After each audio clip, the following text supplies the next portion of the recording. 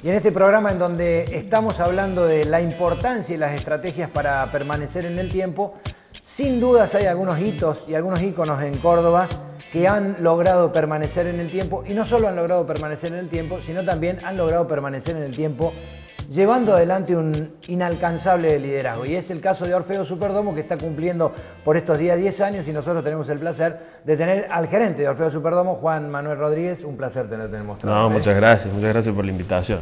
Bueno, eh, ¿cuál es la estrategia que han venido siguiendo a lo largo de estos 10 años para permanecer a pesar del advenimiento de algunos espacios de competencia? Y eh, yo creo que Orfeo vino a establecer un poquito las reglas del show business acá en Córdoba, más allá de que ya se estaba dando en aquellas épocas con, Córdoba Show, pero vino a cambiar un poquito cómo se, estaba, cómo se venía gestando el show business. En las primeras etapas, eh, yo no estaba al mando de Orfeo, en las primeras etapas eh, la estrategia era salir a comprar artistas, justamente para hacer conocido el venue y eh, empezar a potenciar la plaza. Después eh, se fue trabajando más sobre contratos de coproducción y estos últimos años estamos haciendo más coproducción y alquiler con producción, con lo cual a nosotros eh, nos favorece bastante en el balance. ¿Y estrategias de marketing más allá de eh, estrategias de negocio como las que vos contás? ¿Cuáles son las que han logrado tener hoy una marca no solo posicionada a nivel local, sino a, nivel nacional, sin ningún lado y tal vez internacionalmente por los shows que han venido bajando últimamente. Y mira, eh, como estrategia de marketing yo creo que solamente con aquellos espectáculos que fueron un hito para Córdoba, eh, nosotros a través de esos espectáculos fuimos anclando la marca, ¿no? Y sin duda alguna lo que hizo que Orfeo sea una marca reconocida en todo el país fue eh, el evento de la Copa Davis que no se dio, que lo puso en boca de todos. Qué paradójico, ¿no? Un evento que no se hizo. No se dio, pero lo puso en boca de todos, porque acuérdate que estaba el tironeo y la puja entre si era Córdoba o era Buenos Aires.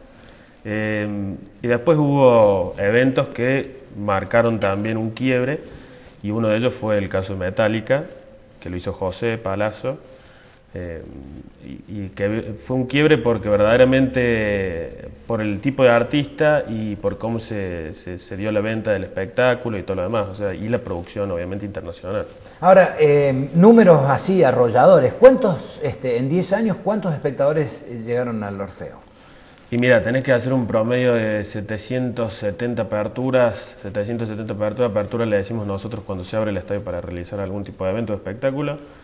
En estos 10 años tuvimos 770 aperturas y el último año tuvimos un promedio de casi 490 mil espectadores. medio millón de personas que, han pasado por, el Orfeo. Y medio millón de personas que han ido educando a lo largo del tiempo, por ejemplo, en las formas de asistir a un estadio cerrado, en la... Este, por ejemplo, en la iniciación de los shows. A mí es algo que me gusta mucho este, y, veces anteriores cuando hemos tenido pie aquí en el mostrador, también se lo hemos comentado, esto de que dicen a las 9 y es 9 y cuarto, no es a las 11 y media. Y mira, eh, el cordobés típicamente es de llegar tarde. Mm. Eh, entonces nosotros eh, generamos esa, esa conducta de que la gente sepa que un evento en Orfeo es a las 9 y media. Por ahí puede llegar a haber excepciones, pero la regla es a las 9 y media. Y cuando más se dificulta es cuando son espectáculos teatrales o de danza, que sí o sí la gente tiene que estar en la sala, o en el caso de, suponete, la Orquesta Filarmónica de Israel o Subimeta, eh, que obviamente hay que ser puntuales a rajatabla. Em, pero bueno, yo creo que estos últimos 10 años, em, Orfeo, y como lo hizo Tati, que es el gran creador de todo esto, y el ideólogo y el gran estratega, Em, él, quiso realizar un hito para Córdoba. Y ese hito para Córdoba creo que rompió el molde, rompió las reglas como siempre hace Tati. Y, con eso, bueno, después estamos todos nosotros, me incluyo con Pía, con todo un gran equipo de producción, que, nos ocupamos de, poner la ficha en su lugar. Eh, ahora, 10 em, años de liderazgo, 10 años de marcar el rumbo. Eh, ¿Van a poder este, mantener este ritmo los próximos 10 años? Eh, ¿Qué van a hacer? Mira, eh, nosotros esperamos que el año que viene, si bien dentro de toda la situación y el panorama no es muy alentador, por lo que todos sabemos, digamos, el, tema de que por ahí las productoras puedan llegar a, sacar dólares para pagar los calle en el extranjero, cada vez está más complicado. Sin embargo, se siguen haciendo cosas. Y sin embargo, creo que Argentina eh, creció muchísimo en el mercado del show business. Y también Córdoba. ¿no? Por eso también siguió toda esta competencia que hablabas vos dentro de la Plaza de Córdoba, que para nosotros siempre es bienvenida. Yo creo que vamos a seguir haciendo la misma cantidad de espectáculos, vamos a seguir creciendo y lo que nos queda a nosotros eh, por desarrollar es el tema del sponsorship. El sponsorship en, las distintas áreas que del estadio, ya sea desde el ticketing hasta eh, los puntos de venta que estén en el propio estadio.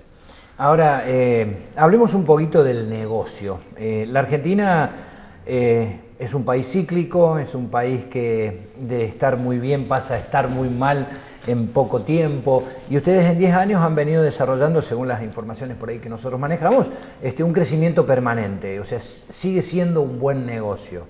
Em, tiene que ver eh, no solo la calidad de lo que le meten al Orfeo, sino eh, la calidad humana que trabaja dentro del estadio y los espectáculos que traen, o hay algún otro factor?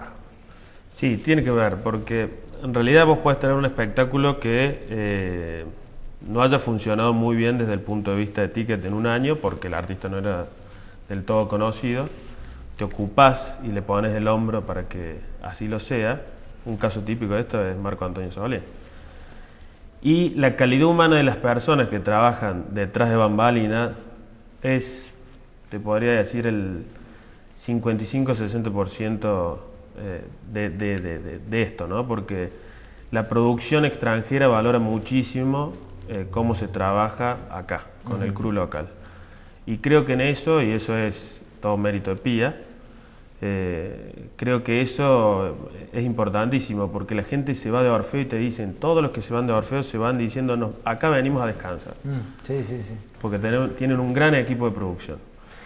Bueno, me imagino este, que con tantos shows alguna vez habrás estado en un backstage con una buena comida. esperemos estar a la altura de las circunstancias. Esto es parte del agradecimiento que le hacemos nosotros a nuestros invitados. Luis. Bueno, lo que preparamos un filete de ternera con un jugo de hongos, unas papas confitadas, unas berenjenas grilladas y terminamos con unos tomatitos cherry y un aceite verde. muy buena pinta. ¿eh? Que lo disfruten, buen provecho. Muchas gracias, Luis. Bueno, Juan, la verdad un placer este, tenerte. te voy a sacar la última pregunta. Eh, muchas de las personas que a esta hora están sintonizando el mostrador siempre están esperando el, consejo, ¿no? Nosotros a todos los invitados siempre le hacemos la misma pregunta. ¿Qué crees desde el marketing, de un tipo este, referente en el marketing eh, nacional? ¿Qué crees que podemos hacer mañana a la mañana cuando levantemos la persiana de cada uno de nuestros negocios para que nos vaya un poquito mejor? Yo creo que hoy en día hay que poner muchísima énfasis en todo lo que tiene que ver las redes sociales, eh, más allá que ya todo el mundo sabe que las redes sociales no te garantizan el éxito, pero sí te empiezan a traficar muchísima información acerca de lo que vos tenés que tener eh, dentro de tu comercio local, producto, fuese lo que fuese. Creo que es una, hoy en día las distancias son cada vez más cortas y de alguna u otra manera hay que estar insertos. Nosotros eh, a través de nuestro Facebook de Orfeo ya tenemos arriba de 33.000 seguidores y lo mismo nos pasa con nuestra página. Creo que vamos potenciando un poquito todo eso, el Twitter eh, ahora también está creciendo y creo que es una herramienta que hay que empezar a utilizarla, pero no utilizarla con, con el objetivo de algo eh, estacional, sino trabajarlo en serio. ¿no? Otra de las estrategias para permanecer en el Exactamente, trabajarlo en serio y después tener siempre el momento de la verdad, y esto te lo dicen los grandes almaceneros y todo, el momento de la verdad es el mostrador. O sea, si, si yo te trato de seducir eh, a través de, un montón de estrategias de comunicación diversas, que puede ser con redes sociales o no, eh, que vos llegues al mostrador y que eso que ese producto o servicio fuese lo que fuese que estés vendiendo sea conforme a lo que vos estabas diciendo, ¿no? Bueno, eh, la gente de Hansen Barriento siempre este, agasaja y agradece a los invitados del mostrador con este hermoso pingüino que va lleno, por supuesto, para que lo disfrutes lo vamos con a todo este equipo de producción fantástico que tenés. Vamos a disfrutar con los chicos. ¿eh? Bueno, Che, muchísimas gracias este, y por otros 10 años de éxito. ¿eh? Muchas gracias.